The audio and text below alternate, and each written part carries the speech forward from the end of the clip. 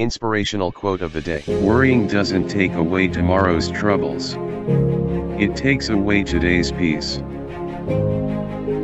Thank you for watching. Please support me, click on subscribe. Then click on the bell.